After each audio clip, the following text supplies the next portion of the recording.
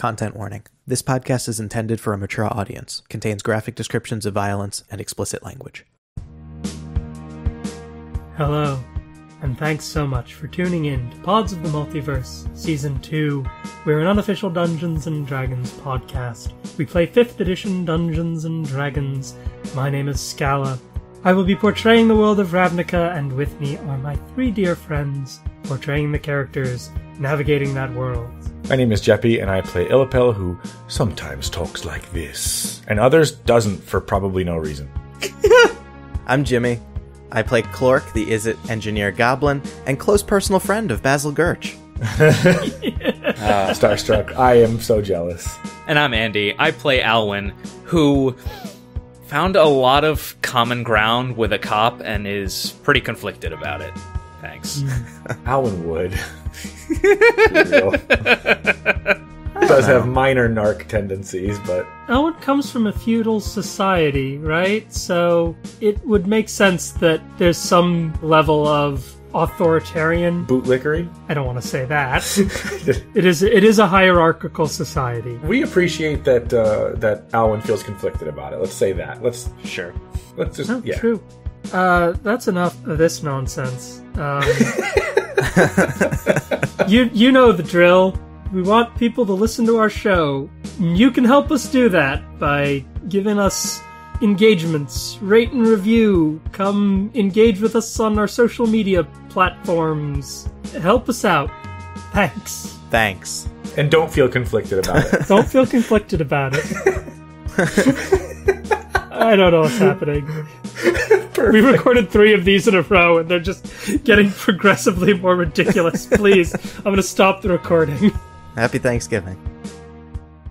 All right, let's get back into it with our weekly recap quiz show, where the game was last week, and you could earn an inspiration die. They said could this time. I don't know about this. I'm not talking unless I get my guaranteed inspiration die. You got one last week. I don't even think I used it, did I? Neither you nor Jimmy have used the inspiration. We die went to the mausoleum. That's right. No, we went to the exchange. Also true. We went to Alexander's exquisite Alessander's exquisite attire. We went to the exchange. At Vuliev's mausoleum. There were a few people there. About a billion NPCs. Anatevna Vuliev, who was had a serpent mask on. Correct. Point for Geppi. we met Silas and Azorius Mage. Uh, excuse me, no, no, no. You're skipping over the most important NPC of All the right, campaign. fine. Fucking Bezel, Basil Gurch, Gurch. the goddamn chef. There was also Emiliel. We didn't talk to her. Prior Emilio. Oh, we did talk to Tibbich, though. Tibbich, yes, Mm-hmm. the jeweler. And we did not convince anyone to buy anything. and then um, Algath, of course. Oh yeah. Algath and Il'lapelle had their little tete-a-tete. They insulted each other without insulting each other, and Uh, we talked to that arrestor. What was their name? Jalen. Jalen the arrestor. He was, He's a Vidalcan, and he was wearing a lion mask. He was. Point for Jimmy. Oh, that must be relevant in some way. Silas was wearing a dragon mask. I gained two inspiration or whatever it was with this bird, whatever the points were called then. In- influence. You did. Influence. So, Il'lapelle and Klork were pretty successful in gaining points of influence. Alwyn, despite his best efforts in trying to He did it be differently. forward and blatantly honest in what they were doing as a party, was not successful at all, and was You know, thoroughly glad when. Klork's charisma bonuses are much higher than he lets on. Yeah, Well, Klork's charisma is not the same kind of charisma as Il'lapelle. Yeah. it's true. Very different. There's probably just a, a natural gravitas to Klork. You know, like he's four foot tall, tough guy. Yeah. You know how, like, in other worlds, you don't meet an old orc? I feel like an Izzet goblin of a certain age has a certain, like, well, if you lived this long, you must know something. That's right. Mm. Or you're just incredibly lucky. Which Klork, based on the chaos bolts, are it's not the case Yeah. for So, anyways, Alwyn was really happy when uh, a rock band showed up and started attacking everybody. yeah, we kicked the shit out of the band. We bagged up one of the little impy things, and then someone was just in the corner, and then we had to put him in a bubble. Korzak, they were being incredibly sus, and Alwyn wasn't having it. Jalen helped us. The Jalen put Korzak in a bubble. Jalen did what Jalen does. Jalen just saved us like real life minutes. We didn't have to record as late. We interrogated the prisoners. They didn't really give us much, they were just there to rock out. They were just there to play some tunes. allegedly. And then Silas told us that we are to go to Brevislav's vault. Exactly. Underneath Vizkopa, presumably. And we're going to meet Tomek this session to go to the vaults and then find our way, hopefully, to Brevislav's vaults. Before we wrapped up, uh, Il'lapelle kindly invited Alwyn to the Violet Rose to, to spend the evening and to have some drinks in the morning. Or a drink. So you think that Il'lapelle is gonna have some extravagant conversation? Well, we'll see. We will see. That's, that's Klork is not aware of any of that. I'm wondering what you two are doing without me. All right, everybody roll a d20. What's funny is like I, I was having dinner today and I was like, I feel like Klork doesn't give a shit, but I know Jimmy wants to know why the fuck Klork's not involved in this. Nine. Klork's over it. Ni- uh, 18. Thirteen. You all had four points from what I was counting, so Jimmy, you can take the inspiration. Does that stack with the inspiration I already had? Yes, you have two charges of it now. Ah, cool. Jesus. Nice. Maybe I'll hit an enemy this game. Says says see. the guy who crit on the devil. That's right.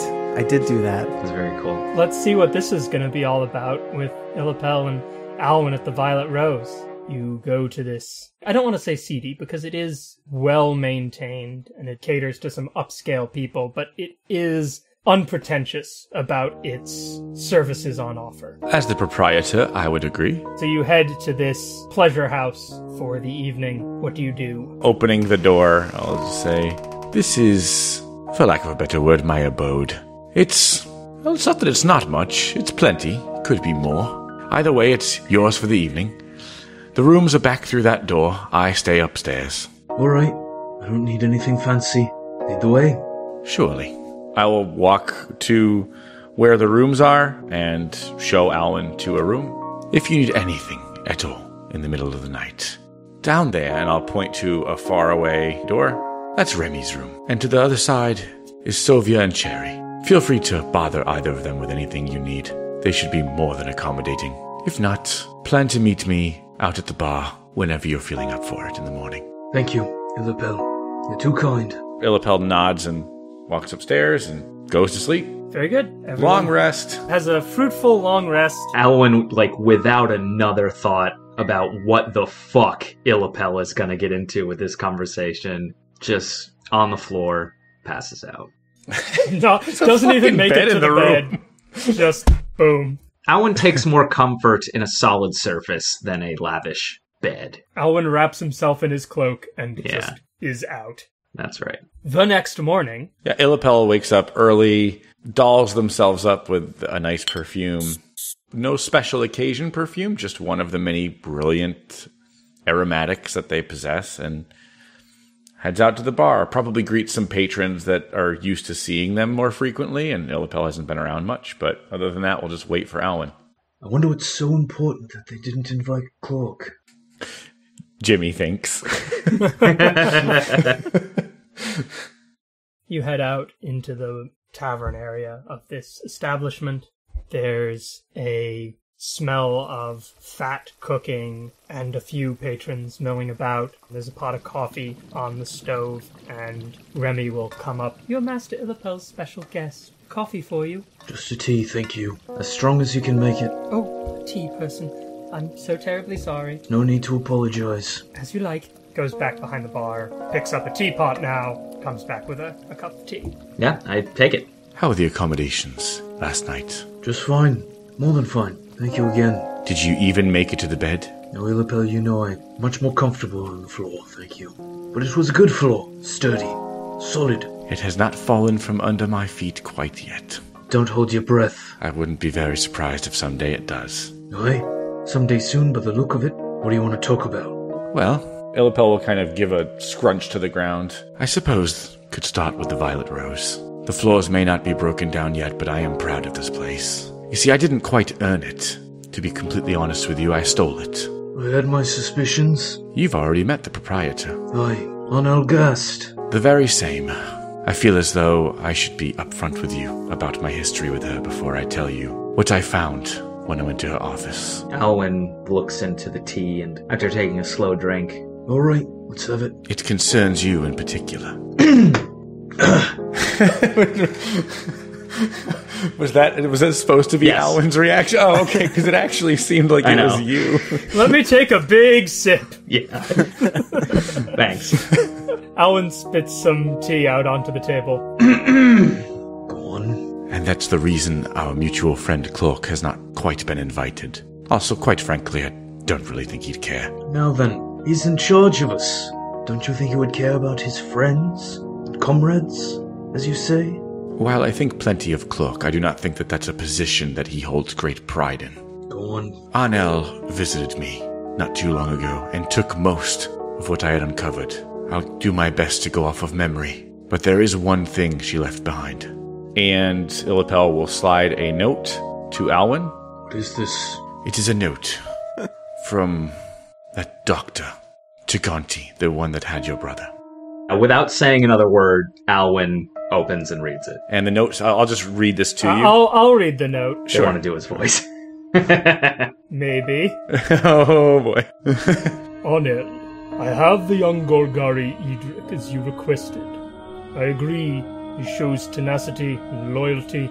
It was simple to convince him that this work would save his family. Nonetheless, the work to bring together the widening and tightening gyre can continue. We are stowed away deep below. None shall find it. While we work to relieve our respective guilds of their short sighted desires, I trust in our shared guidance and look forward to seeing you down here. With grace, knowledge, and care, Dr. Taganti. Excuse me? you fucker. So then, they're working together. There's more. Among the documents that she stole seems to suggest that she is working alongside the consortium. Okay, so player knows what's going on here a little Mhm. bit. You know, Does Alwyn at all? roll history, but I'd say it's a long shot. Okay. That's a seven. Uh, Alwyn has never heard of anything called the Consortium. What is a consortium exactly? I myself know little. What little I do know, Hmm. If you want to roll insight, Kind of do. Knowing Il'lapelle. If you want to roll deception, Sure, I will say that I will have a hard time answering that question because I, the player, do not know a lot about the consortium. Uh, 19. Yep. That's a 22. Oh, and you get the impression when Il'lapelle says, I know little, that maybe they know more than they're saying. Still looking towards my glass. Il'lapelle, I know it's in your nature, in your business, in your way of life, to not be direct or honest. And then turning to them. But for your sake, as much as mine, you must tell me everything you know. Who are these people? What do they want? They are predominantly collectors of artifacts. They seek. No, no, uh, no, no, no, no, no. They disseminate dangerous materials. Historically, they have even had dabblings with Jace himself. There's a reason I know little, because little is confirmable. What I do know, what I can promise, is that this link between her and the consortium is true, and it does not bode well. Plus, there's that manner with the Eternal. I. You sit in the Golgari, respected. You've recently turned your brother back to his family. I'm simply looking for your help. If Stonehaven is in danger, Rena will know what to do. I understand where you're coming from. I do. And I want to protect my own, as you say. That's a fair assessment. But I have demands. As do I. Alwyn just kind of gives him a look like, of course you fucking do. What are your demands? We shouldn't keep Klork out of this. We can tell him all the details he will hear until he walks away of boredom. I think you underestimate him, I honestly do. I hope so. Alwyn sort of furrows his brow even deeper than it already is. I know it's very hard for you to do this, but if there's anything else you keep from me or him, you can't do it that way anymore. The less I know about our enemy, if I am to believe that they even are our enemy, means that I have to be that much more on guard for all our sake. Look what happened with the assassins. Look what happened with Arnell, you sneaking off. As a scavenger, as a Golgari, I have training in these sorts of encounters. The more I know, the more prepared we can be. You're not wrong. Your demands are reasonable. I will accommodate them. Gladly. My demand is simple. Trust me and hold me accountable. Please, keep the letter. Mull over this as long as you need, but let it be there to remind you. In the meantime, we should continue our work for the Guild Pact. Let us hope that Arnell's machination. Hold up one second. Oh boy, here we go. Il'lapelle, as you go to say on Elgast, make me a constitution save. oh. That's right. She said not to say. She said not to say. It's a nat 20. um, so do you want me to roll again? It seems. No, no. Because, no, your face tells me you wished I had failed. Every DM wishes they fucking fail saves. Let's be honest. it would have been cool, but the dice, the dice determine the outcome of the game. So you roll what a a 20. game. As you go to say her name, you feel a spectral force wrap around your throat and squeeze and try to choke the word out of you, but you manage to fight off whatever Is this purely psychic or do I see this? whatever. You might see Il'lapelle stutter a bit as they speak, but there's no like visible, tangible effect other than them just stumbling over their words as they have to catch their breath. Oofa doofa. Would Il'lapelle have known what that, that that was an attempt? Uh, roll, roll Arcana. Okay. That's a 15. You don't know what may have caused that. Okay, all right. Yeah, uh, but my last bit of dialogue was just, uh, you know, I think I ended with let's continue with the guild pact work. So, Alwyn, I don't know if you want to have more to say or we can make way. We should be going. Agreed. If we find ourselves in the second precinct, you are more than welcome. A door and a bed and a floor will always be here for you if you need it. Thank you. You meet up as instructed outside the Bank of Vizkopa, this tall, opulent structure of Gothic spires adjacent to the Cathedral of Orzhova. Somewhat smaller, more practical. Still a great deal of gaudy decoration has been applied to this construction. As you approach up the marble steps, a pair of armed guards bar your passage. They've got the eyeless helms. They hold halberds over the gate with one hand and extend a collection plate in the other and say, Quid tributem offerus soli? I mean, I speak Celestial, but I, the, the player does not. Il'lapelle, you would understand this. What offering do you bring for the sons? In Celestial, we offer companionship to a dear member of the Orzhov named Tomek. Gold or blood? Should we just wait out here? Il'lapelle, you would know it's somewhat customary to just make a donation as you go into the bank. Yeah. Yeah, Il'lapelle will hand them each.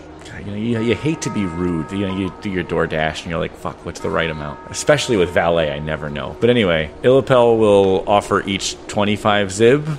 DM, is that reasonable? I don't know. What That's not gold. is it, each a zino? I mean, you can hand them each a silver coin, and that would be fine. What's a silver coin? All I know is zinos and Zibs. It's a 25 zib piece, is the silver coin. Oh, okay. Uh, let's do 50 each. I'll do two silver pieces each and just say, we'd like to stick to coin today, if that's all the same. They uncross their halberds and let you pass. Cool. We will walk through, and presumably in whatever You hall. will walk through. Oh, They look expectantly. All right. I, I pay the same. This doesn't have to be a big thing. I pay the same. Yeah, I, no, it, Alwyn- it doesn't Yeah, have to. okay. I, I do too. Okay. You all put some money in the collection plates, and they let you pass.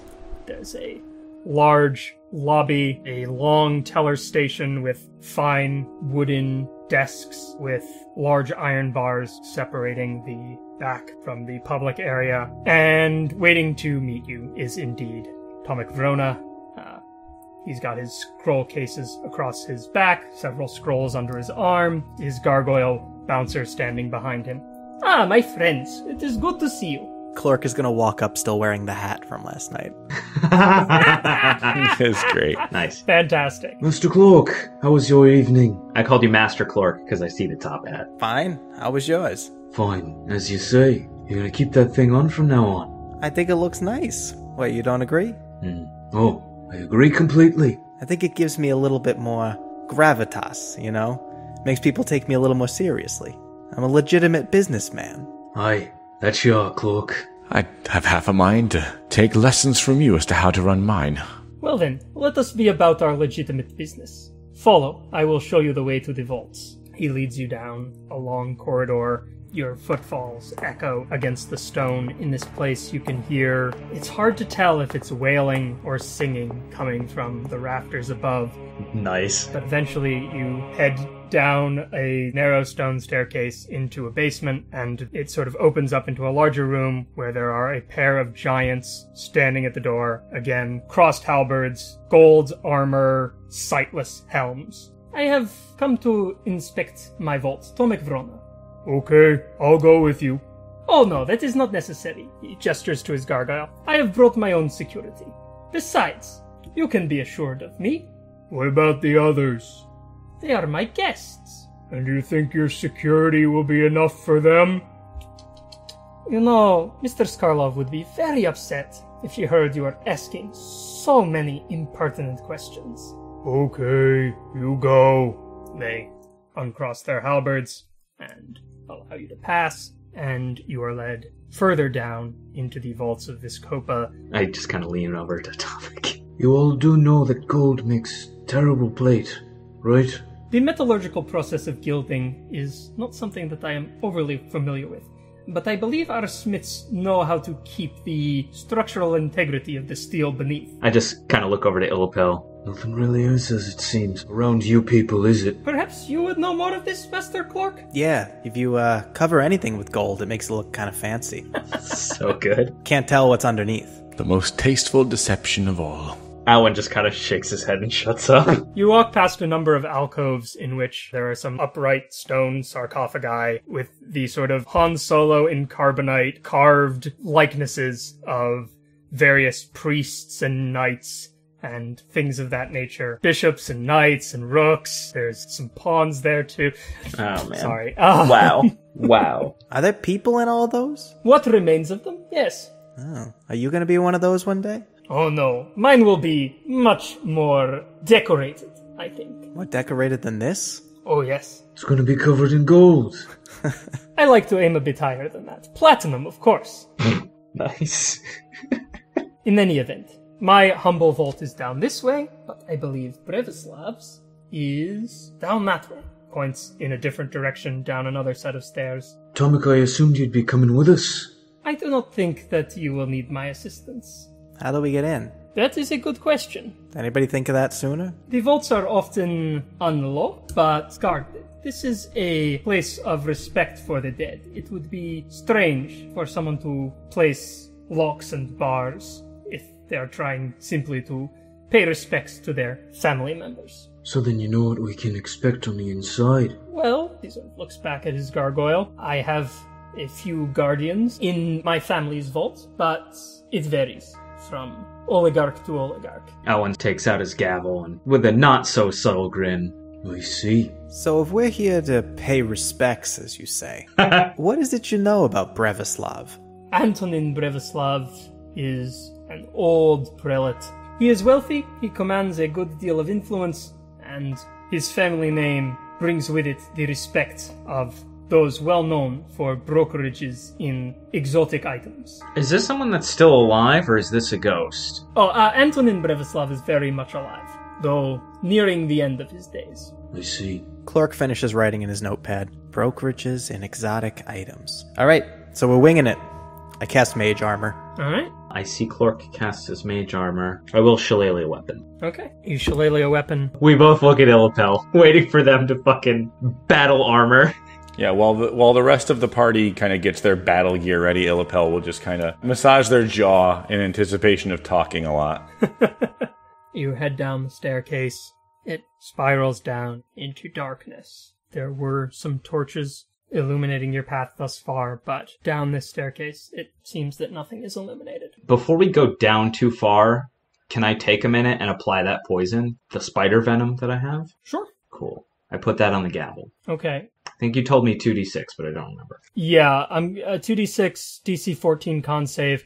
What I will say is it isn't a contact poison. It requires a slashing or piercing weapon. Mm. It, it's spider venom. It's meant to be injected. You could give it to one of your allies, though. I will do that. I look to Il'lapelle. Pick this up off that spider we fought a while back. I can put it on your rapier. Might help us.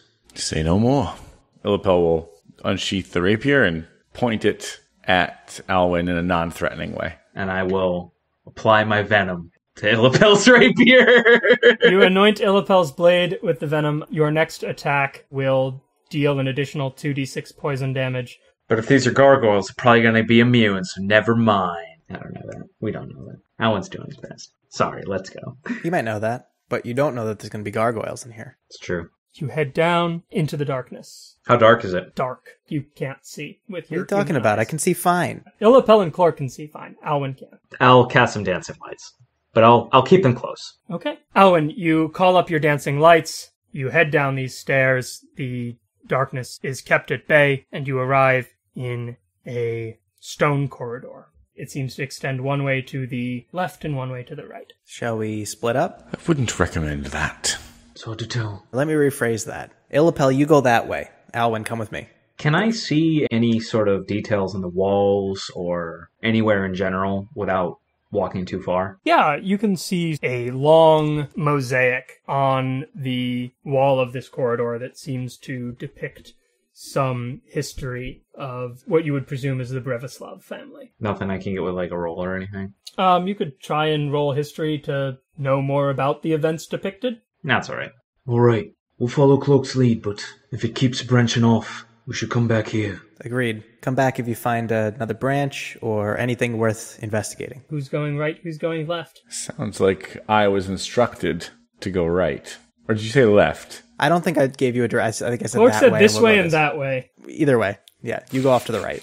Okay, Il'lapelle goes to the right, Klork and Alwyn go to the left. After walking a short distance, each of you come to a turn in the corridor. Il'lapelle, to the right of you, you see a, a small alcove with a stone sarcophagus standing upright in it, and then another corridor leading down to the left. Alwyn and Klork, you see the inverse, so on your left, a small alcove with a stone, sarco- stone sarcophagus and a continuation of the corridor to the right. Can I just look down the corridor and see if there's any features? Yeah, Is it sorry? Is it far enough that Klork and Il'lapelle can still see each other? Sixty feet, or is it farther than that? you can sort of just barely Okay. see each Cool, other sorry. on Got it. opposite ends of this corridor. Okay. Do I see anything down the further corridor? Yes, looking down, you see an iron gate and then a bit more passageway and another iron gate and some stairs leading down.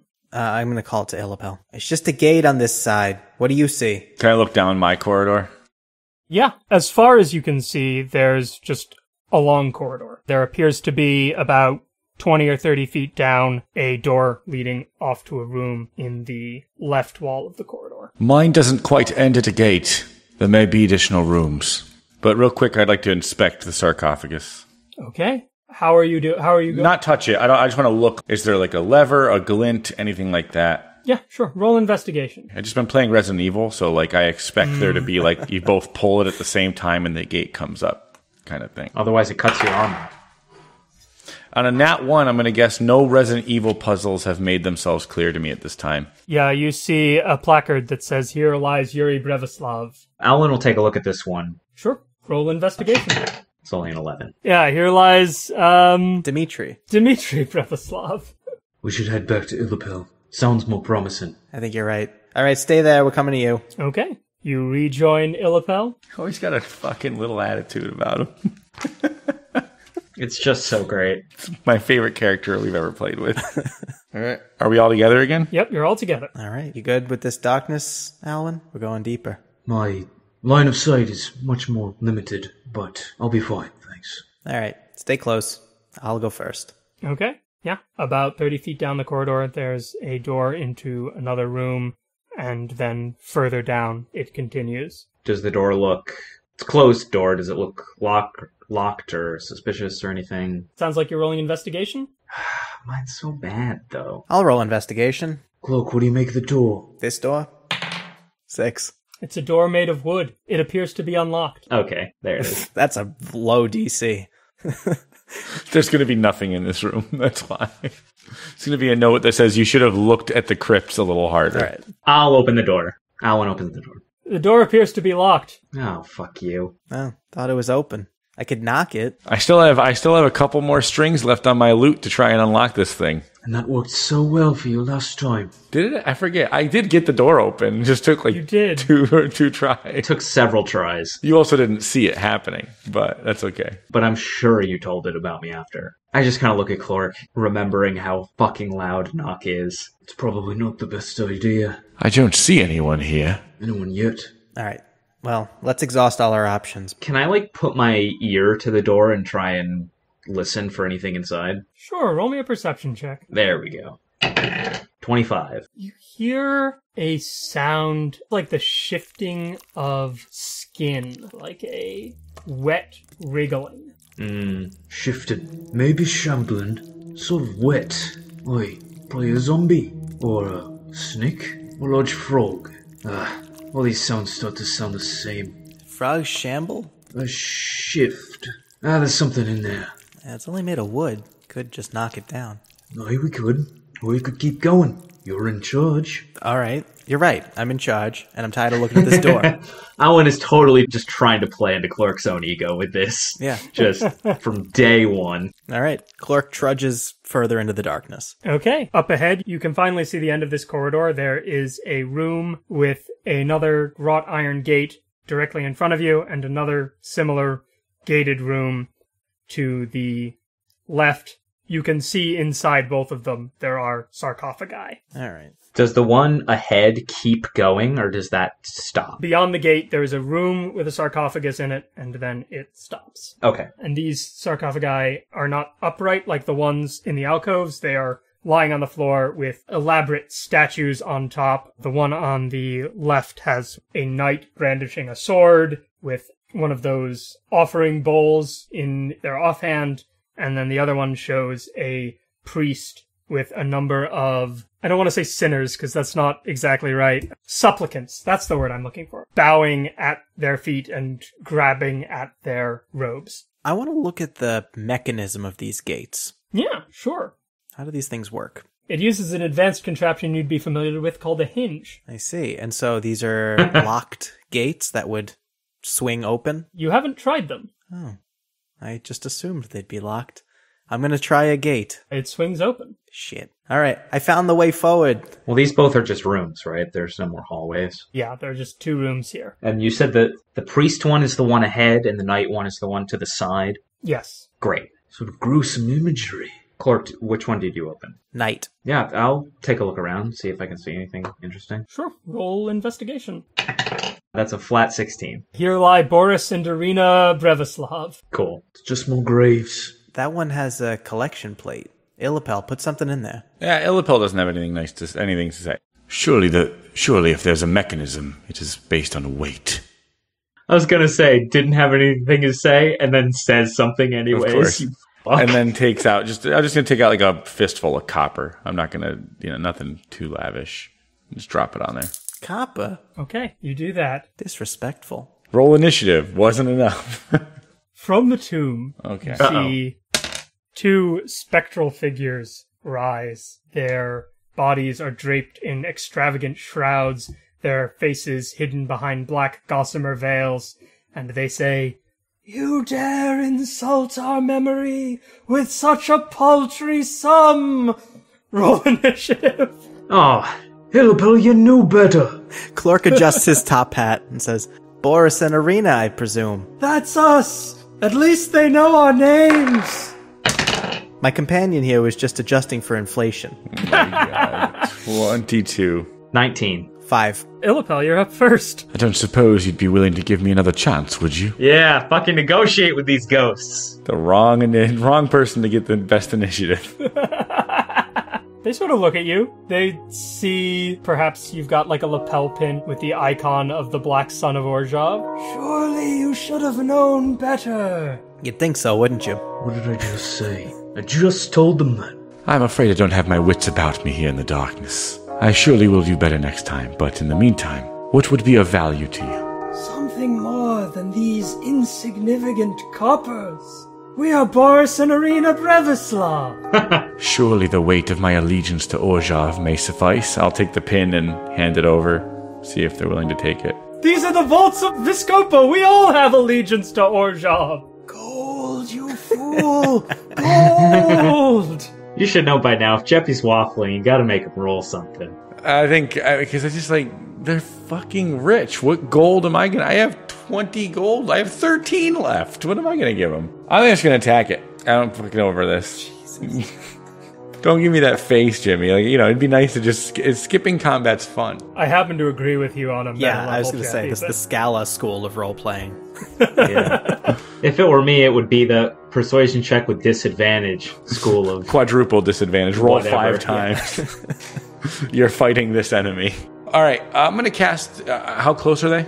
They're close to you, probably 10 feet away. So I can't cast faerie fire without casting it on myself. I mean, you could probably put it in the back corner of this room. Yeah. Okay. Sleep ain't happening. We're not fucking with sleep, but we'll do a faerie fire. Okay. They rolled X saves. One got a 15, one got an 8. The 8 fails, and I think 15 is the DC. Tie goes to the defender. One is sparkly. Anything else from you, Il'lapelle? Uh, no. Okay, we move on to Alwyn. All right, I'm going to balk at Il'lapelle's attempt at amends Balk all you want, but I've just lit your way for you yet again. and attack the glowing one. Okay, 26. easily hits. Uh, this is with the gavel, which is shillelaghed.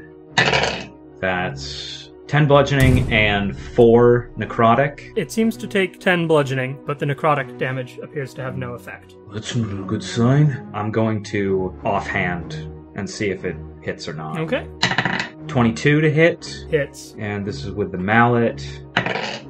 4 bludgeoning.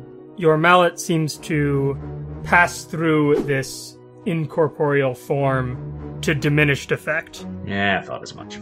Okay. Though this spirit that you've been wailing on does seem rather uh, displeased that it decided to get out of its crypt this evening. Go back to sleep. Our business is not with you. All right, Boris is going to come at you, Alwyn. Irina is going to come at you, Il'lapelle. Okay, a five does not hit Alwyn. Nope. A seven does not hit Il'lapelle. Klork, we're over to you. You're gonna have to try harder than that. I'm gonna stick my hand into the incorporeal form of Boris and do a shocking grasp. Nice. All right. And that is a 23 to hit. Okay, yeah, roll damage. Five lightning damage on Boris. Boris crackles. Even though Boris appears resistant to this lightning damage, it does seem to be enough to discorporate him.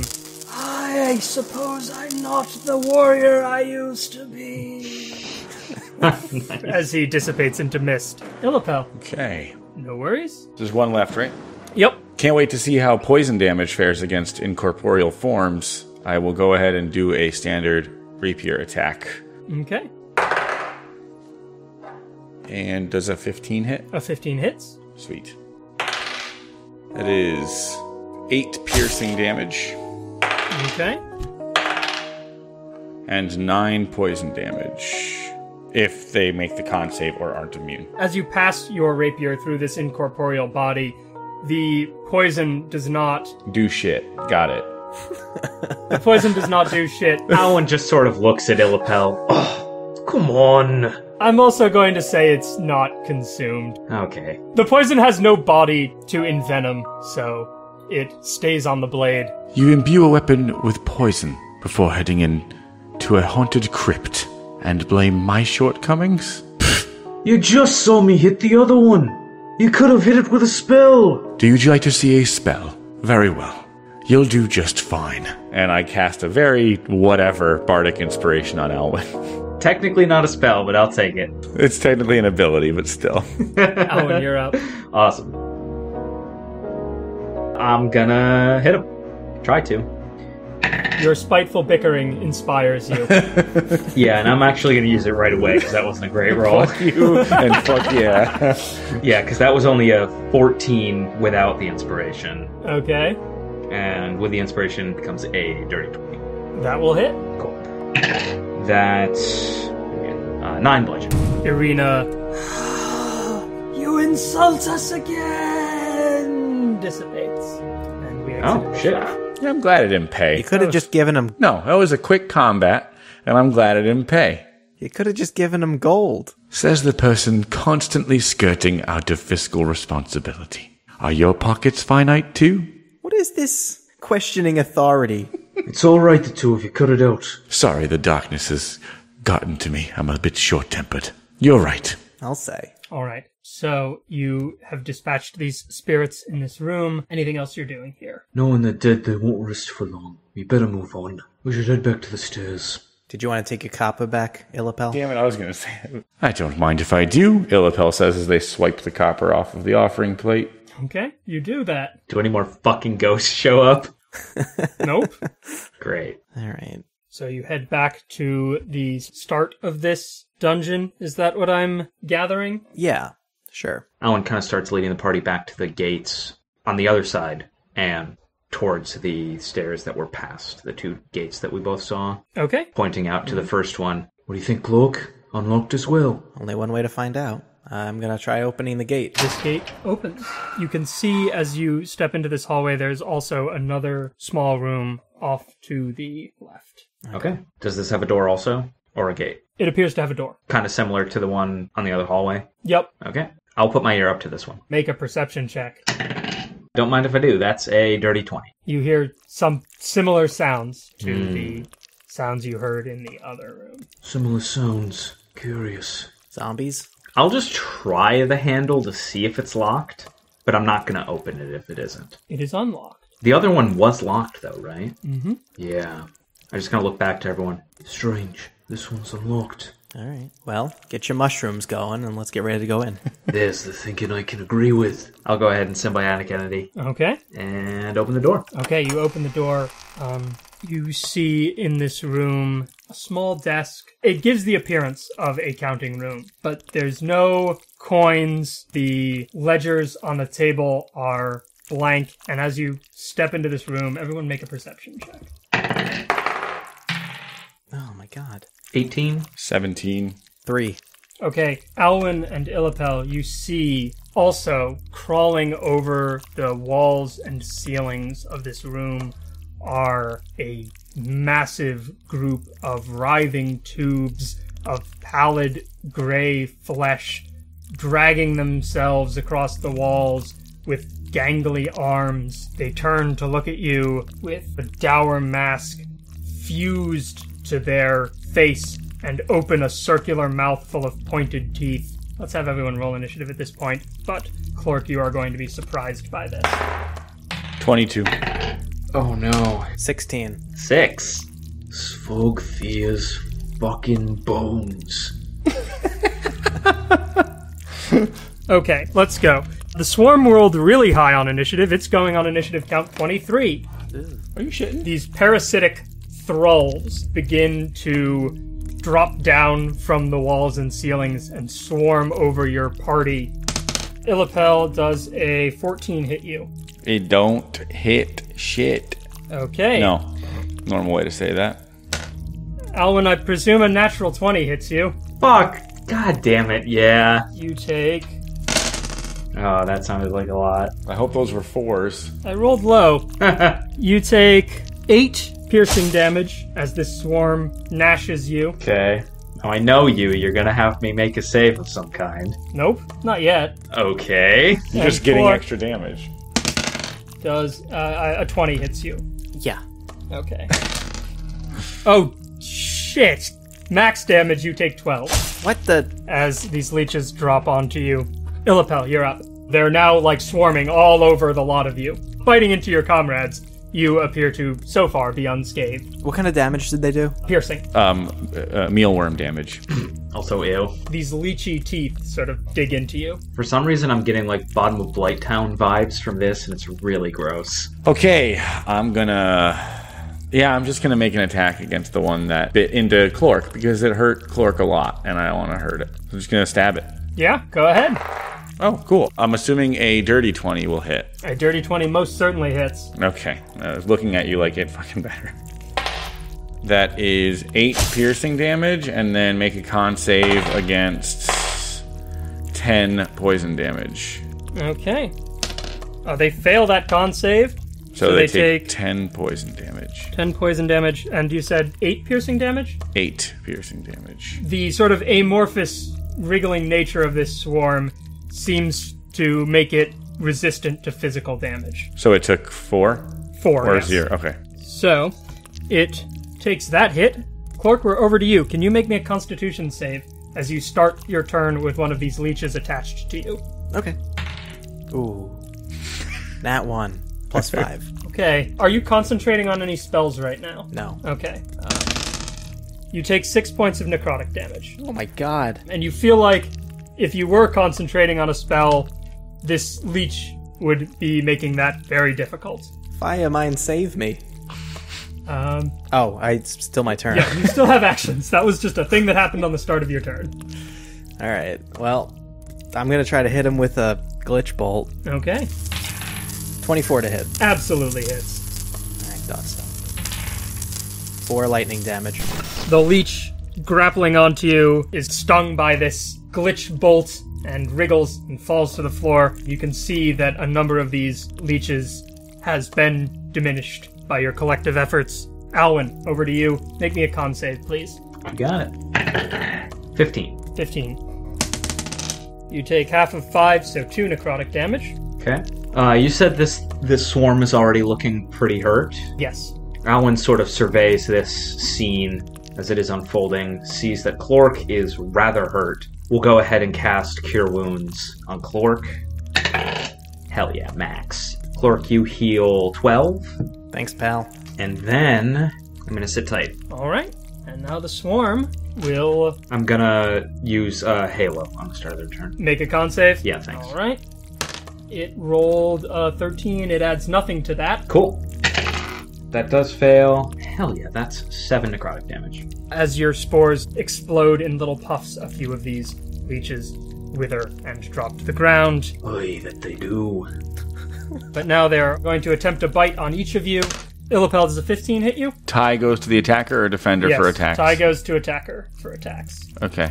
A 15 hits me. Okay. You take two points of piercing damage. Keep it that way. Klork, I assume a 12 misses you. Correct.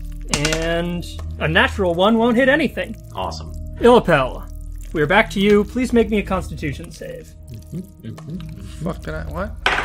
You've got a leech attached to you. Uh, 22. 22. Okay, you take half of two, one necrotic damage, Nice. and it's your turn. Just more of a nuisance, aren't they? Try and fucking flail off these leeches. Uh, I'm going to cast Dissonant Whispers. Okay. You're just a leech. I don't know. I don't know what the fuck to say right now. That is untrue. Il'lapelle always has something to say. you just suck the blood off of the lowliest of lives down here in the deepest of dungeons of Ravnica's greatest guild. You're worthless. Okay, make a wisdom save, please. Okay. Wisdom save in the swarm. 17 plus. Yeah, okay, yeah, great, cool. so you'll take half damage of. Oh, Okay, I rolled pretty high actually. Half of 16, 8 psychic damage. Okay. All but the last few of these leech like thralls scream in anguish and drop to the ground, writhing and falling inert. Hmm. Klork, we're over to you. Alright. It's just a few left. Just a few left.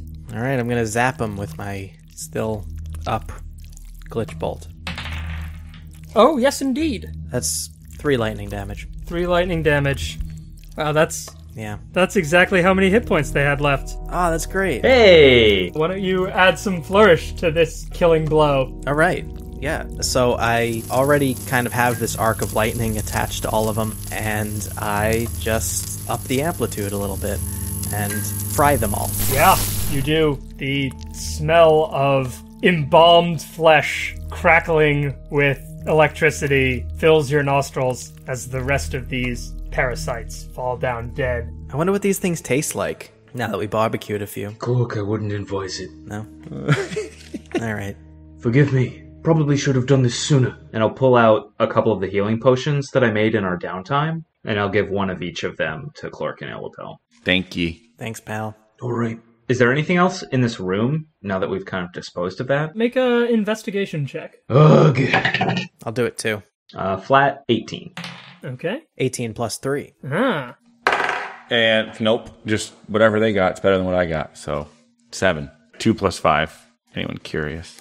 Yes. So you root around this room. You find a lot of like blank ledgers, It's almost giving me like museum set vibes. something like that. Yeah. It feels like this is a place that might be a tribute to someone who was a notable banker in the family, hmm. storing their possessions in their office, how they kept it. But inside the desk, you do find a keyring with three keys on it. Hmm. Well done, Klork. I'm going to take it. Don't mind if I do. Yeah.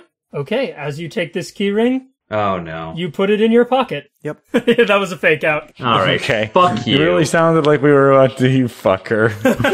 that really sounded like we were. yeah. Yeah, that was the point. But I guess, one of those might go to the other door. You want to fight more of those things? Maybe there's more keys in that room. Aye. Anyway, Hmm. What would you like to do? Did they kind of like deteriorate, or are there still any remains? No, there are still dead parasite bodies. Can I give those a look?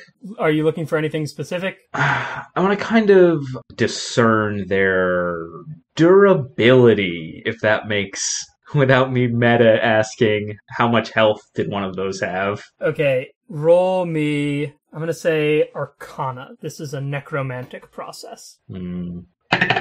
Flat 15. You know this Orzhov necromancy that creates these thralls is very different to how you practice necromancy in the Golgari Swarm. You guys are more practical. You reuse remains kind of as they come to you, but the Orzhov take great pains to reshape these bodies into symbols of both shame for the debtor whose flesh is becoming Right. them and status for the creditor who is inheriting them. You contemplate all this lore, and I'll also tell you they have eight hit dice. Oh, cool. Wow. No, that's a great way to put that. It's all sort of twisted. It's. Uh, if this world's had Catholicism and Catholic guilt, well, it'd be rife with it. I don't know what that is. I don't know. It's up to you. We can try the other door, we can keep going. let's keep going for now. There may be something useful, but. Actually, those other gates were a dead end. All right, yeah, let's try the other door. If I can quickly unlock and open it, I have a pretty strong opening move I could try and surprise it with. That sounds interesting. Do that. Now, Klork, don't underestimate yourself. Your chaos bolt is pretty strong. Well, we all know that. Aye, we do. We could all sort of surprise. Prepare our biggest spell. I see. Of course, now that I think about it, we're not very far into this vault, are we? And you say I talk a lot. Alwyn is really hurt by that remark. All right, let's go to the other door. Klork is gonna try the keys on the door. All right, one of the keys does appear to fit this lock. All right, before I open it, I look back at Alwyn and Il'lapelle. You ready? Yes. I'm going to prepare a spell Okay. if as soon as we open the door we see a similar sort of encounter. Mm-hmm. Did your plan involve me doing the same? If you want to use the resources, it does. Yeah, sure. Resources are fun to use. I'm gonna prepare a second level Chaos Bolt. Okay. I'm going to prepare nothing. All right. You open this door and you see several suits of armor standing around, but more importantly, what you're looking out for, a bunch of thralls crawling on the ceiling with these leech-like mouths. Describe to me how you fire off your spells. Gross AF. Go for it, Klork. All right. You kidding me? I'm going to remind you, you have some DM inspiration dice. And I just used one. Can I use the other one? Holy shit! Yeah, sure. God damn it, Jimmy! This is unfucking real. I rolled a three, and then a five, and then a one. Oh my god. Get better dice! Please! It was three different dice. In true chaotic fashion, Klork, you hold up your God wrench. damn you it. try to conjure up the power of the elements. It backfires in a sooty puff of inert magic, spraying dust all over your face. Alright, well, here goes my second level ice knife. Okay. That's uh, 21. 21 hits. And it needs to make a dex save. Needs to make a dex save. 15. That will. That's tie. Just passes. God damn it! Fuck. takes eight piercing. It's all right. You could have wasted two inspiration dice and a second level spell slot. Yeah, well, could have also taken four d6 cold damage. So fuck. All right, everyone, roll initiative now. God damn it. That's what Alwyn gets for talking too long. 17. Eleven. These fucking rolls. Seven. Okay, Il'lapelle, you're up first. As your companions fire off these spells into the room, the swarm appears agitated. What else is in the room? There appear to be some suits of armor, some ceremonial flails hung up on the wall. Okay. I'm going to use catapult on one of the flails. Okay, Nice. Cool, cool, cool. Whop that thing. Give me a deck save. Go ahead and pass it. Uh, Yeah, okay. All right, cool. 17 plus 4. All right, I don't think this is a half or whatever. I think it just doesn't take damage. Yeah, no, I think save negates. You fling the flail at this swarm, but it deftly wriggles out of the way and descends towards your group. If it's coming to attack us, I'm gonna use Halo. Let me roll its con save. A 5 fails. At least these are good rolls. That's max. That's eight necrotic damage. Okay, yeah, it recoils at this necrotic damage. A 9 doesn't hit you, Il'lapelle. Does a 14 hit Alwyn? Ties. Yep. Okay. So you take 7 points of piercing damage. And then Klork, 2 plus 6 does not hit. No, it doesn't. So uh, the only one who seems to have a leech attached to them at this point is Alwyn, uh, whose turn it now is. Can you make me a Constitution save? I'm also starting to kind of look. Um, that's only a twelve. That will still pass. Oh, okay. You take half of five necrotic damage, so two, as your blood is drained by this thrall parasite. All right. I'm going to take a swing with the gavel. That's a twenty-three. 23 hits.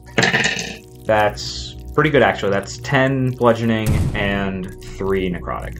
Okay. Again, its swarm like form seems to make it somewhat resistant to physical damage. Even though it's magic. Even magic, it's just flat bludgeoning, piercing, slashing it's resistant to. But you do manage to deal all of that necrotic damage, and the swarm does appear somewhat diminished. Cool. I'm gonna offhand. Okay. That's another twenty-two. 22 will hit. And on Shillelagh, that's another eight bludgeoning. Okay. That's Alwyn. We go to Klork. Let's try this again. I'm gonna try a second level Chaos Bolt. Okay. I'm gonna waste my other second level spell slot. Here we go.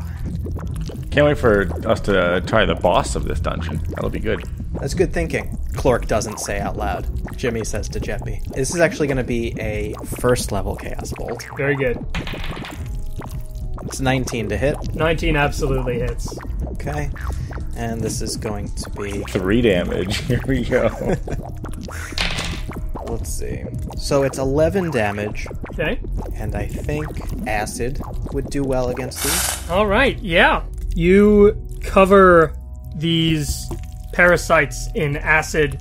Several of them dissolve into formless, fleshy lumps on the ground, their masks falling with a dull clink. We swing back around now to Il'lapelle. Regular ass attack. There seem to be a tiny remnant of this swarm remaining.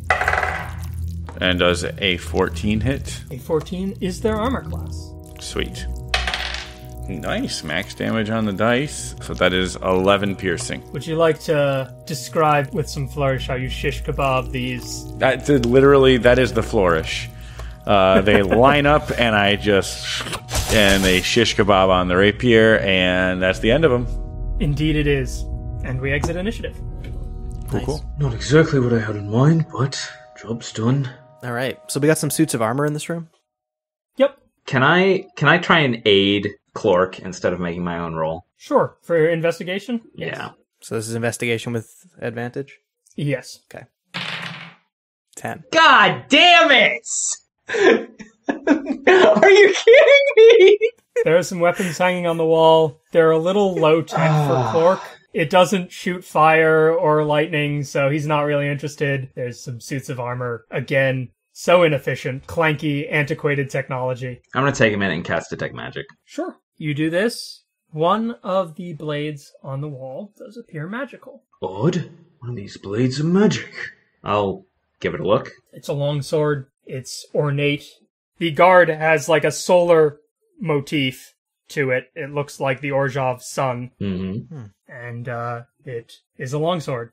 What kind of Uh, magic? yeah, is there a school that I get off of this? Transmutation. Not exactly my style of weapon. Il'lapelle, you're proficient in a heavier sword than your rapier. Uh, it's a long sword, right? Yep. I do prefer the deftness of a rapier, but I am known to properly wield a long sword. I hand it over to Il'lapelle. What is this thing again? It's a magic longsword. Plus one to hit and damage. But it's a strength. Yeah, it is a strength based weapon. Oh, we don't like that. Nope, I don't like that at all. And I'm not I'm not proficient in long swords. Me neither. Hmm. Il'lapelle will graciously take it and, and claim that they are proficient in it, and then probably sell it next chance they get. Wait a minute. Orzhov, sun motif. I feel like I've read this in a book somewhere. Hold on a second. Harnessing the Power of the Sun by Chiswick Fritz. Hmm. That's all I have written actually for that one. Um, I know Chiswick Fritz in his introduction to the book made fun of how the Orzhov want to seem like they have the power of the sun, and he was claiming to actually be able to get the power of the sun. oh, I see. Okay. Because Orzhov's is more of like an occult take on it rather than a Yeah. scientific take. I see. Okay. Does anybody know Identify? I don't think it doesn't have an additional effect, does it? No, it's just a magic sword. Oh, okay. I mean, that's what I was asking when I was asking about the school from Detect Magic. So Yep. So I believe magic weapon is a transmutation effect. Okay. Oh, I, I get it. It was made with. Uh, I- Yeah. okay. Understood. All that for a sword. All right. Well, onward. I guess we'll go back around Yeah. the other way again. Yep, you back go back the around gate. to the other gate. This gate appears to be locked. Damn it. Oh, wait. I try the other keys. One of the keys appears to fit this lock, and there's a set of stone stairs descending deeper into the vault. These aren't even puzzles. I'm just. Going the wrong way consistently. it's it's very um very like old old school Zelda or Final Fantasy Yeah, where it's like you got to check every room, you got Check to double every back path. four And you, like- times. yeah, you double back 18 times. You're like, and I got high potion. Yep. And the walking Yo. speed is so slow. All right. Well, we go. Hold the X button to run. I would actually still have Detect Magic up for a couple more minutes if there's anything that would ping on our way down these stairs. No, nothing in this corridor, on these stairs, or in the corridor that you emerge into at the bottom appears magical to your vision. What do we see? You see a hallway. There appears to be a large stone door on the right toward the end of the corridor and a large iron door with a wheel mechanism similar to a bank vault on the left. That looks like a vault. I'm just going to actually not even investigate. There's very little chance that will open, but it's worth a try. Okay. I'm going to immediately go for the vault and start trying to turn the thing. Okay, roll me a strength check. All right. This is going to go poorly. That's a 14. Uh, I'll assist him. Okay, go ahead and roll with advantage. That's an 18. Okay, I roll up my sleeves. I spit in my hands and rub my hands together. As Klork is doing that, Alwyn is just above him with it with both arms on the bars lifting from above. the two of you work at this door. You you start turning the wheel, but after a certain distance, it seems to click. There seems to be a lock somewhere. Should I knock it now? Maybe there's another keyhole. Ah, good thinking. I always forget about keys. Immediately jump to trying to break shit. All right, I'm gonna look for a keyhole. Roll investigation for me. Okay. 18. Yeah. You are able to find a keyhole tucked into the mechanism of this great vault wheel. Okay. Do any of the keys fit? The last key that you haven't used on any of the other doors Hell yeah. does seem to fit into this lock. Nice. All right. Now we continue turning this thing and opening the vault. Okay. Do, do, do, do, do, do, do, do, do, do, do, do, do, do, do, do, do, do, do. Ba-da-ba-ba. Sorry, just doing the rest of the Zelda. Breath of the Wild is great. This bank vault door also has spokes pointing out from it that look like sunbeams, the same Orzhov motif that you've seen repeated a few times. You turn the wheel, you open this door, and you are awestruck, even Il'lapelle, as all of you see piles and piles of coins in this huge room, more currency than perhaps any of you have ever beheld in your lives. I was about to say, Well, the architecture gets dull after a while, but wow. And this room, while the other passages have been dark, this room seems to have a number of torches hanging from sconces around the walls that burn with continual flame. The gold reflects in Klork's eyes as he stands there awestruck. I should have been a thief. Well, no time like the present. What are we here for again? Alwyn kind of snaps out of this The sun disk. Oh, yeah, right. and starts looking around. Do I see the sun disk anywhere? Go ahead and roll me perception or investigation. Uh, I've got a 23 perception. Okay. I've got a 17 sleight of hand as I try to pocket some gold. Okay. Mm, well, I I, did it. just roll this perception check, so I see So you Il'lapelle s- do this. Yep, you do. I see them go for it. I'm like, Il'lapelle don't. Hillipel, what are you doing? Are you going to heed your friend's advice? Can I have Geppi, perhaps the player, roll me a history check for information that Il'lapelle, the character, would probably very much know? Oh, um. Uh. Tomic mentioned guardians. There could be more ghosts. We don't know what we're dealing All right, with. all right, I'm assuming it's a low DC because of who Il'lapelle is, but nonetheless, it was a 21. Il'lapelle, you feel like something bad might happen if you touch, all, touch any the of this player gold. even knows that. I'm not going to stop Hold Il'lapelle, the character, if they want to take the gold. Il'lapelle will put their hand just above the gold, look right at Alwyn, give a wink, and then put their hand away. Okay. I'm gonna keep my fucking eye on them the whole goddamn time. Okay. What else does Alwyn get from their perception roll? from your perception, you see that the coins in this room are very neatly organized. There's, uh, you know, sections of stacks of leveled off amounts of copper, silver, electrum, and then the various denominations of gold and platinum coins. So much greed. Disgusting. Anything other than coins. You do not see anything that looks like a relic, anything that looks like a sun disk. It's just coins. There's It's like just not even money. items. Wow. Wow. They must have worked really hard to earn all of this. Or sold the sun disk, perhaps. Every time you make those faces, I feel like me as a player, I've forgotten a major detail about the plot, Jimmy, and it makes me so nervous. No, I just. Okay. I don't Actually, know. I I think I think that's like a good hunch to jump to. Like maybe, yeah. possible. I well, yeah, Jimmy's but I, face I had told a that different these. story. Like, what, are you on drugs? How the fuck no, would that be I- real? sorry, I didn't mean to convey that. But I had assumed that these piles of gold were generational. Hmm. They, they Yes. could, yeah. yeah. Yeah. Yeah, they probably are. But Yeah. that's not saying a large chunk of them didn't come from A recent. a recent sale. Sure. Making money off the plates of others. Disgusting. Anything else you're doing in this vault? Anyone trying to take some of the golds or platinum or Absolutely not. or electrum? If it is just coins, how Alwyn's walking the other way. Okay. I am saving up to build a car. Hmm. What would Klork do? Maybe one of the other rooms? Well, we've got this stone door. Yeah. There is a stone door. All right. It appears to be carved with an inscription in a language that Il'lapelle you would understand. What does the inscription say? I will roll a reading dice.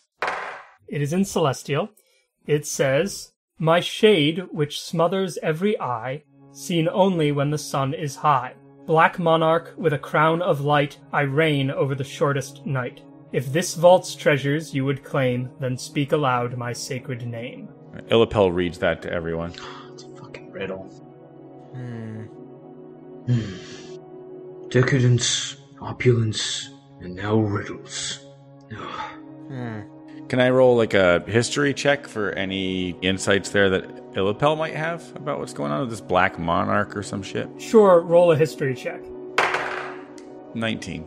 I don't want to just give you the answer to the riddle, but I will say that Il'lapelle, you would obviously know that to the Orzhov, the I think I know what it is, but go ahead. the celestial bodies and significant events that relate thereunto are of religious and cultural significance to the Orzhov. Ravnica has got a moon, right? Correct. Alwyn paces back and forth for a moment, tapping his head with his brow extremely furrowed. And after a moment, Il'lapelle, speak the celestial word for eclipse. Eclipsis. I could look up the Latin right now, but I don't want Uh, to. actually, no, I'm gonna do it. I'm gonna do it. It's like fucking Gandalf in front of. uh... Et obscuriatus. You say this, the celestial word for eclipse, and you hear a click of a mechanism Get the fuck out. and the rolling of stone as the door sinks into the floor. Nice. Well done, Andy. Although, real quick, I realized like none of you may have checked me on it, and I could have just Googled a bullshit word in Latin and said it, and Scala would have been like, "You hear?" I could have said like bathroom, and Scala would have been like, "You hear this?" And the door clicks. yeah.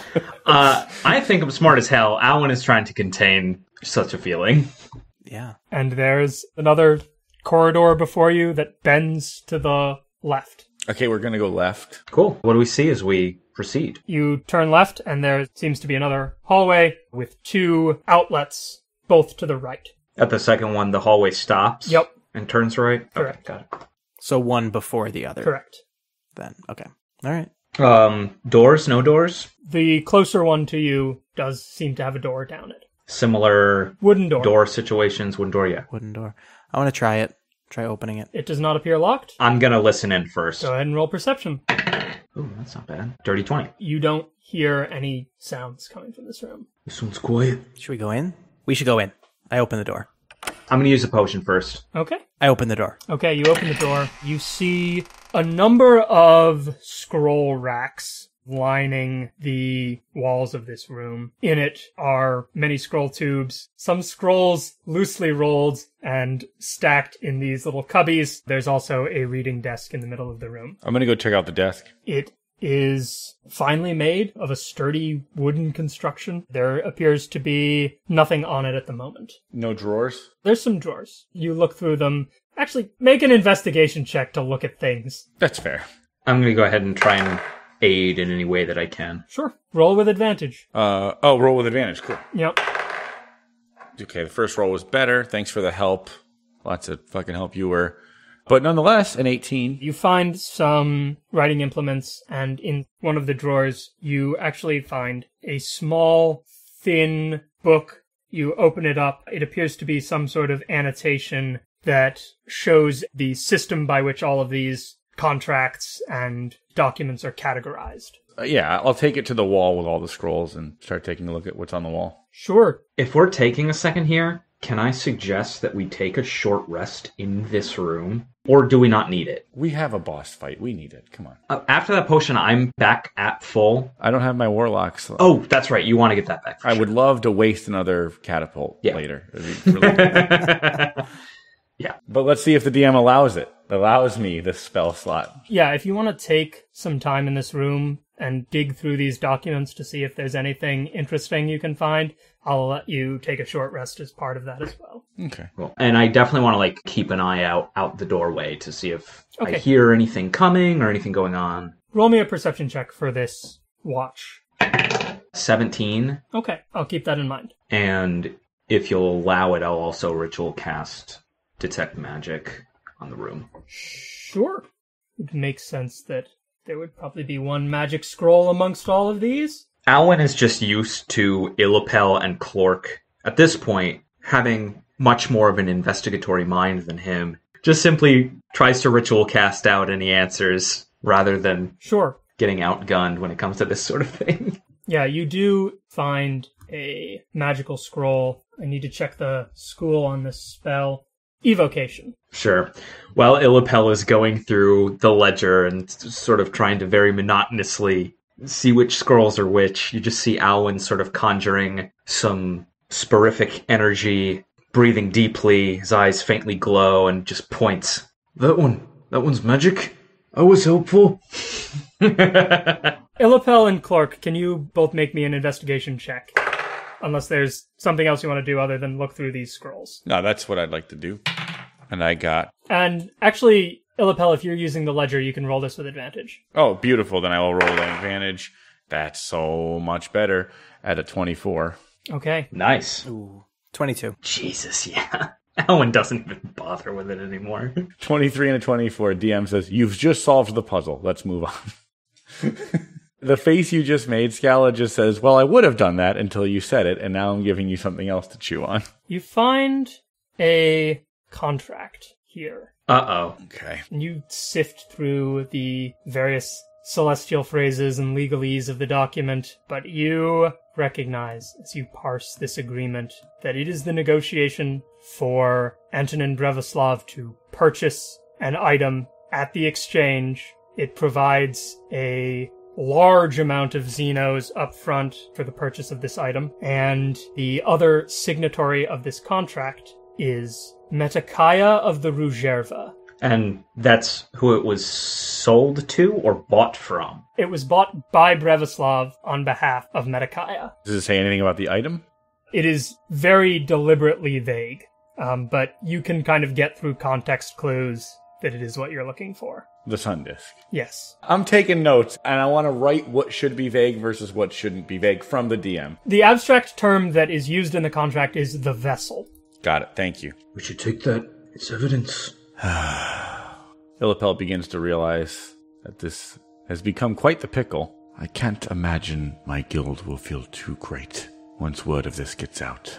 What, that you're a grave robber? They're talking about the sun disk. Is there are there any other items other than that and whatever the magic scroll is? No, besides that and the magic scroll, you don't find. I mean, you find other legal documents, but they are beyond the scope of this adventure. Cool. Looking over the ledger, Il'lapelle will just say, I suppose the benefits to one's loyalty being tenuous. And will, you know, fold up the letter and put it in their pocket. You roll up the contract. It's probably a little large for a pocket, um, but you could probably tie it to your waist. What about like coat, uh, like shove it into like my breast area? Yeah, you could do that easily enough. Breast pouch. That's it. That's all I wanted to do. Okay. I'll point out the scroll to Klork. Yeah, what do you want me to do with it? Just look, at, it. Okay, fine. I'll look at it. I guess roll Arcana. There you go. That's why. 22. This is a scroll of spiritual weapon. This is a s- scroll of spiritual weapon. It is a contract for the weapon of a dead individual to appear and aid the bearer of the contract in battle. Oh, that's such good flavor. Oh, yum. Oh, yeah. that's sick. You should hang on to that. It's a strong spell. I should. And actually, Il'lapelle, can you just roll me a history check? Because there's some more information that you might have access to or might not. Yep. 15. You have very vaguely heard of the Rujerva. They are a secret society about which little is known, similar to the consortium. Okay. On the level of vagueness, not in terms of what they do, you don't really know at all. Mhm. But you know they're a secret society of some kind. Okay. You have this piece of evidence in hand. What do you do? Let's keep moving. Okay, where else can we go? There's one more turn in the hallway to the right. All right, I lead our way out of this room and back down the hall. Okay. At the end of the hall, you see a large statue standing over an empty sarcophagus. This is a statue of a young man wielding a scepter in one hand and holding a contract or scroll aloft in the other. They're given a pose in a official advocate's attire, and there's a plaque beneath that reads, "Here lies Antonin Brevislav." Anyone got ideas? Uh, I'm gonna look in it. It's empty. Tomek, I think, told you that Antonin Brevislav is very much alive. There's nothing here. Not yet, but someday, surely. There's gotta be something here. I'm gonna start ritually casting detect magic again. Yeah, you've got 10 minutes. You've got all the time in the world. Anybody wants to investigate any further? You see a slight ping of magic. There's a necklace hanging around the statue's neck. It is in the shape of the Orzhov sun. It radiates with enchantment magic most strongly. The necklace and a statue. Some sort of enchantment. Hmm. Can I check it out? Yeah, sure. Is Klork trying to take it or just. Well, I thought you were going to ask me to roll Arcana to try to learn more about it. Yeah, you can roll Arcana then. 21. Yeah, you think that this might be a similar locket to the one that Alwyn currently has in his possession, except associated with the Orzhov. It can be wound once a day to gain a spell slot that can be used to cast a command or illusory script at first level. Hmm. That's interesting. Well, do you want it?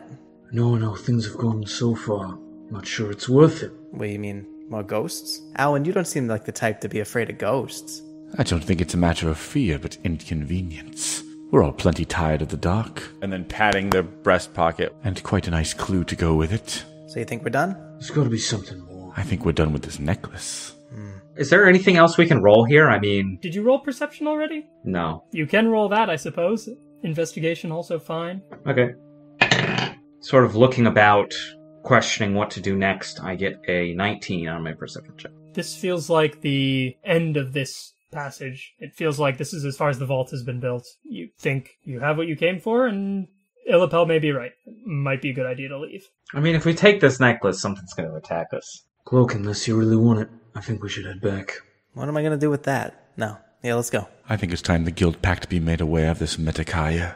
What say you? Perhaps it's just a nagging, a sort of itch my scavenger days won't let go of. But there is that other tomb, the one with the priest. Alright. If it'll make you feel better, let's go. You head back through the corridor, up the stairs, back through the two gates, and then you round the corner back to the first corridor you were in. And standing in the middle of this corridor, her raven wings spread wide, you see a pale faced angel blocking your passage with dark lines painted on her face that sort of suggest the tracks of tears. She wields a wicked black scythe in her hand, and she looks at the three of you. This is as we're turning the corner. Yep.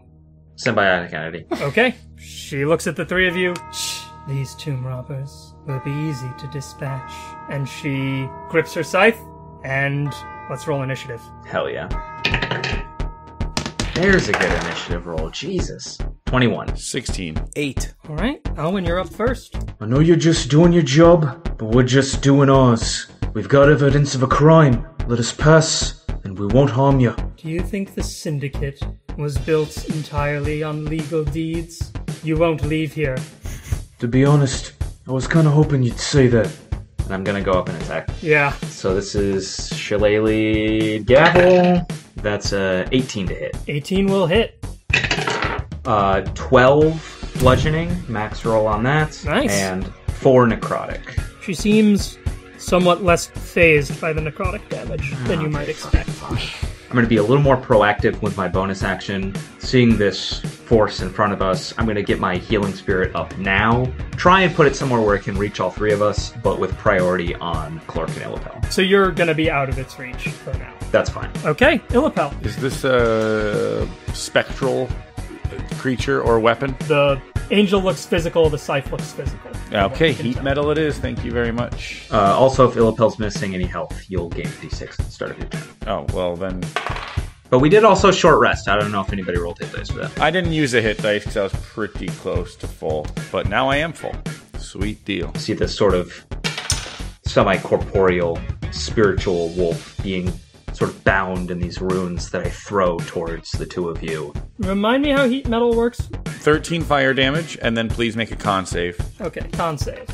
That's only a four. She can either have disadvantage on her next attack roll, or she can drop the weapon. Okay. What would she prefer? Uh, she's gonna take the disadvantage. Klork, you're up. Hmm. Alright, let's try out my new friend here. Uh, I'm gonna take out the keyrune, and uh, I'm just gonna throw it on the floor in front of me. All right. Weird, I choose you, Klork says, throwing the rune on the floor. Hell yeah! Great. oh my god. As you do this, it crackles a bit, and you can see the face shrouded in elemental energy begin to light up and glow, and this glowing ball of energy begins to take the form of this ice sculpture of an elemental crackling with electrical energy. And it says in primordial, which Klork would understand Blizzix is free! Come, let us destroy this world with the fury of the elements! oh my god! If that is your wish, Ral Zarek, where's Ral Zarek? Who are you? I'm Ral Zarek. I look different now. uh, yeah, let's d- let's destroy the world and start with this one here. This go go attack. Look, As you command, What is this? Master! I made a new friend. Insane. Just insane. All right, was that an action? Yeah, that was an action. Okay. and I think it requires a bonus action to command it on your turn, like most pets. Yeah, you can command it as a bonus action on your turn. If you issue no commands, the creature takes the dodge action and moves to avoid danger. Got it. Oh, okay, that's great. So then I will uh, command it to use slam. Okay, it runs up to the angel and attempts to slam her. Rolling a 15 plus 4, uh, it does. Oh dang! Slam it! I yell in primordial. All be destroyed by the fury of Glizzix! Whoever that is. Oh, good. Oh, Glizzix is the. I don't know. Elementals. The elemental's name. Okay, it deals 6 damage with the slam and. There's an and. Oh, I love and it. lightning damage. And 5 lightning damage. Holy shit! This Thing. This pet fucks! Yeah. And oh my god! Oh that's now she has to make a con honestly. save, There's another and! or she can't take reactions. right. She succeeds at the con save, though. Okay. This is the strongest pet Well, I have. Oh my god, that's awesome. I, I don't know if I should tell you this or just wait for it to happen. We'll just see what When it expires, that it blows up, and we all take 30 damage. That's the and. Oh my god. It's not 30, but yes, and it also doesn't have a lot of hit points. Ah, great. So cool. Alright, Moitza, the angel, is going to spread her raven wings and take flight over Alwyn and the Weird. She does not provoke an attack of opportunity as she does this. How high are the ceilings? 20 feet? Probably higher in this entrance hall than they are anywhere else in the crypt. Yeah, because I was getting like a low ceiling vibe. Yeah, I was- I had a sense of claustrophobia. Yeah, so sort of down in the tunnels and the tombs, but this sort of entrance hall. It's got a big mosaic on the walls depicting the history of the family. Cool. I don't contest that. I'll allow it. Thank you. Thank you for allowing me to run the game. and she's going to make her first attack roll with disadvantage towards Klork. A 2 plus 6 is not going to do it. And then she's going to make another attack roll. Il'lapelle. Uh, a 19 will hit, I presume. Presume correct. Okay.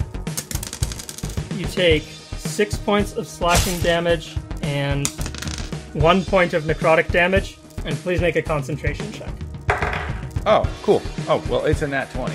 Okay, you maintain concentration. Nice. Now she beats her wings. A dark, almost heavy shadow energy emanates from around her. I need the three of you to make me wisdom saves as she tries to burden you with guilt.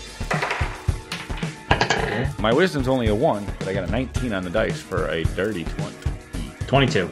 Okay? Jimmy's face spells doom. Three. Klork, you take a d4 penalty on attack rolls and saves until the end of her next turn. As you feel guilty about, I don't know, what does Klork feel guilty about? Did just lie and call himself Ral Zarek. Also, the servitude that he's imposing on this key based Pokemon. I feel guilty that I considered stealing gold when I have a perfectly good job. Yeah, you know, it pays the bills. This guilt weighs on you as the angel hovers over you, looming, reminding you of your transgressions. We go back to the top of the order. Alwyn, She's still in the air, isn't she? she's hovering like five feet above the ground because she, Okay. she dropped down to attack Klork and uh, Il'lapelle. Cool. I'm gonna follow her, and if she's next to somebody, if I can in this space, I'm gonna try and Yeah, flank. you can. This hallway is probably Okay. about, again, 20 feet wide. And I'm gonna swing. That is a nat 20. Okay, And there, there goes that. 15 bludgeoning, okay, 6 necrotic. okay, And I'm gonna go ahead and swing with my offhand. okay. That's a 19.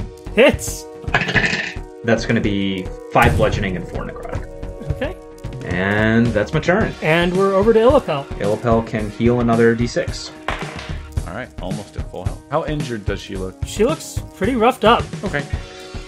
I'm going to use Cloud of Daggers and just put it up above me where she is. Okay. I guess I'll, like, duck to the ground and throw the cloak over my head, and, like, Cool. a plume of, like, mist will form and climb up above me where she is. Very cool. This Mist of Daggers heads towards her. And I'll cast Bardic Inspiration on Klork. She's wounded. I think you can carry this the rest of the way. Very good. Klork, you received that inspiration, and it's now your turn. Nice. It's a D6. Yeah. All right, so here's a shocking grasp. not going to hit anyway with a 9. Uh, unfortunately, no. Okay. And I'm going to command the weird to slam her. Glizix does as he is told! this fucking guy. Blizzix coming in to flank with Il'lapelle. Going to roll his attack with advantage. 19 plus 4. Yeah, Glizzix. Deals 6 points of bludgeoning damage. This fucking guy. Pet's insane. You ever just have a sneeze so good you feel like you just had an exorcism? what? I just sneezed. That was great. Plus 7 points of lightning damage. Good God! And con save, or Doing as much damage Is as this pet Alwyn. key robot Pokemon thing about to paint the picture for us? no. Okay. It, it got. uh, okay. So, but it does get some good hits. That's in. my game. This is Flourish. Flourish, right? Flourish. Flourish. I have to think of a Yeah, different theme. one. Yeah. Uh, it's a shame what Matt Mercer has done to this hobby. Shut up. It's great. It's fun and cool. Is that a Mercer thing? Paint a picture? No, Mercer's is how do you want to do this? And because of that, Brian Murphy's is finish him. Well, that, that one didn't start there. Anyway, it's Moitz's turn. She's not happy. She can go ahead and roll 4d4 for me. You roll the 4d4. This is your damage. Okay. And uh, I'm also going to hit her with a halo. Okay.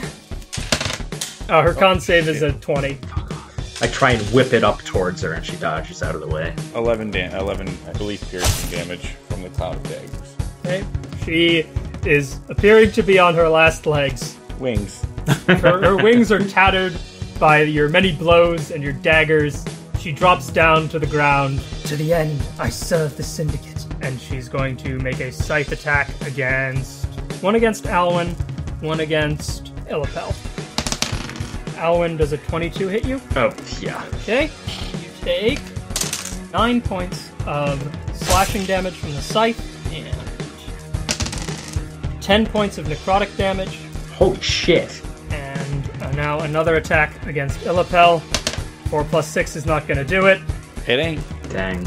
And now everybody make me a will save as she continues to exude this aura of guilt. 17. A will? Wisdom save, sorry. Thank you. 19. 10.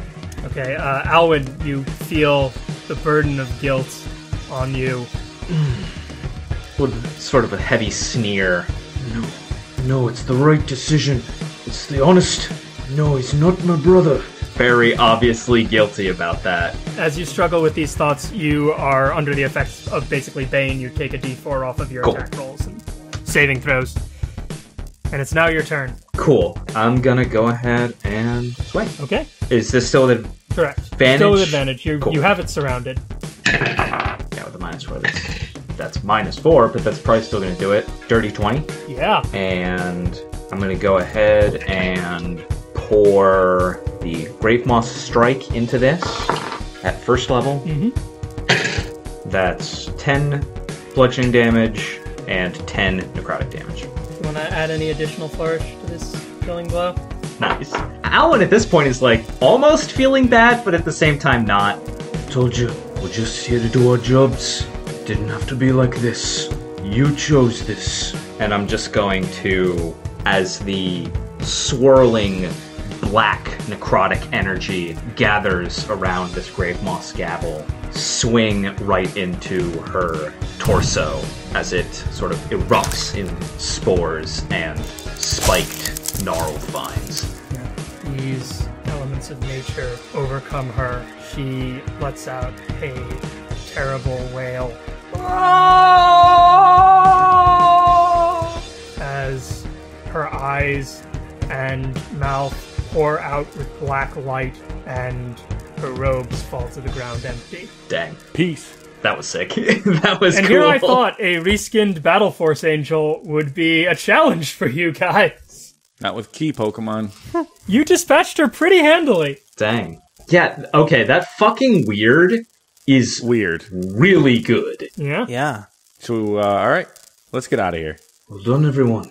Did the sword shit? A, no, The it shit a scythe, the scythe. scythe remains. Is that Yep, still the there? scythe remains. Hmm, I'm gonna pick that up. Okay.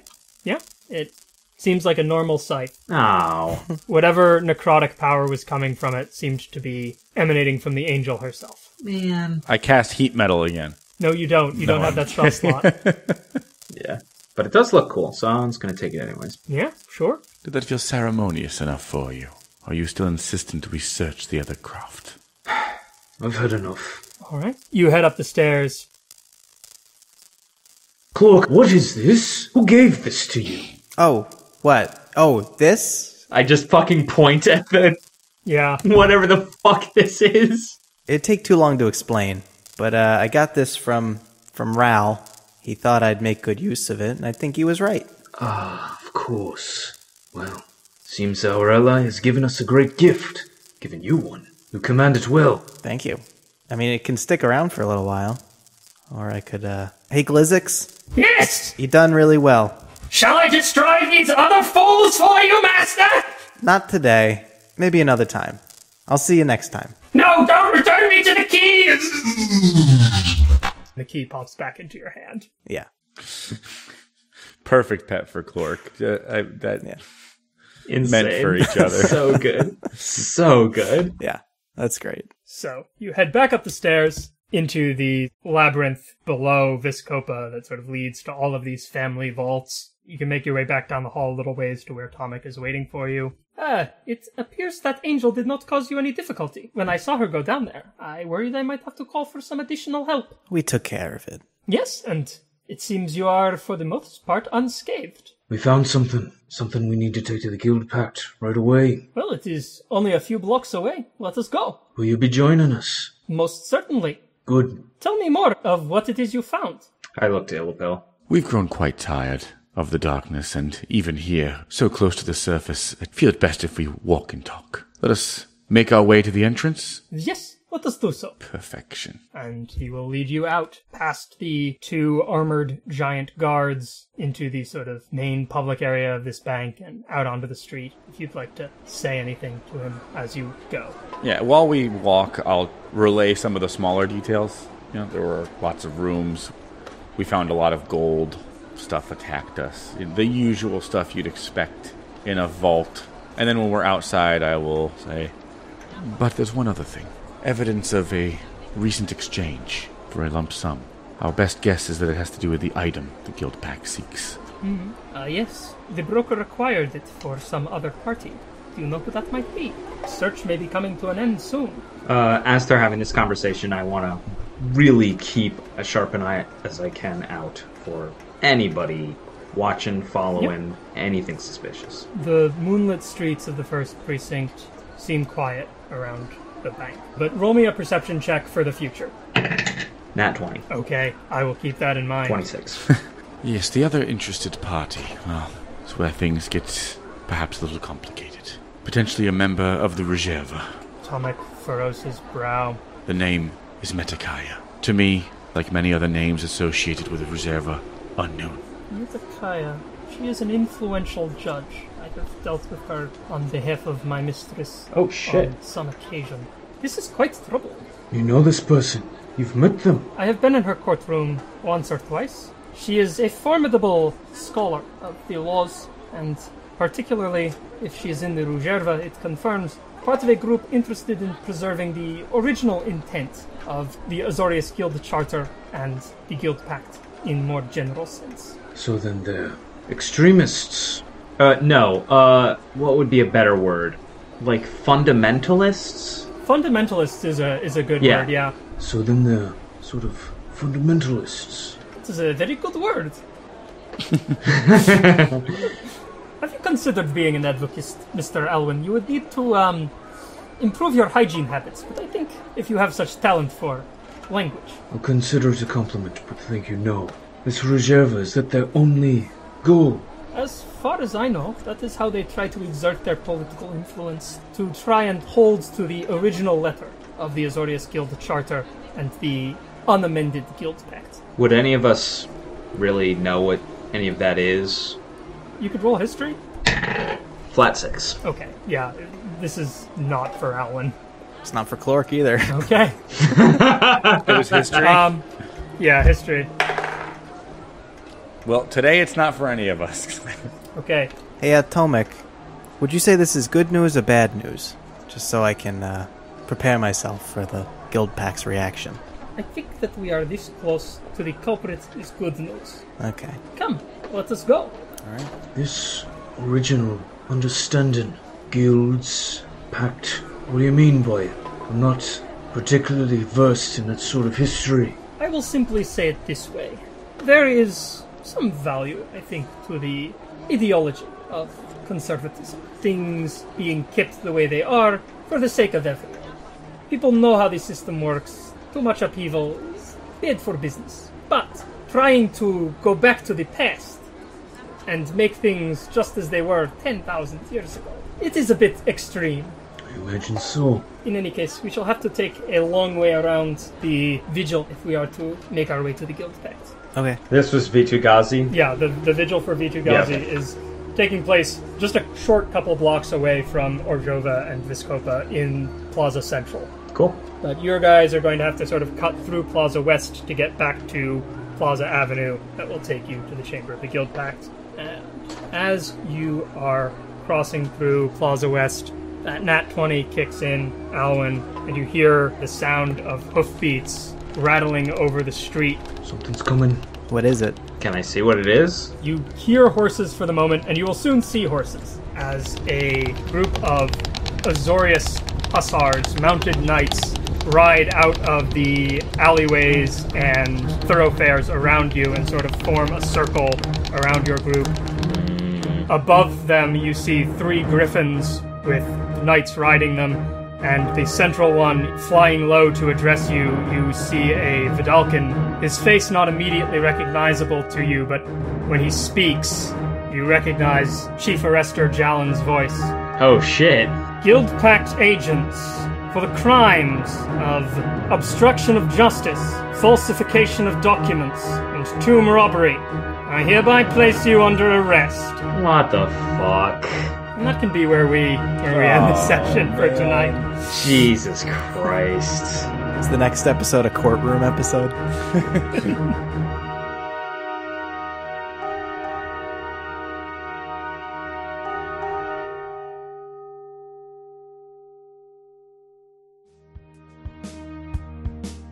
Pods of the Multiverse is produced by Jimmy Affatigato. That's me, with music by Andy Burger and art by Alexa Reilly.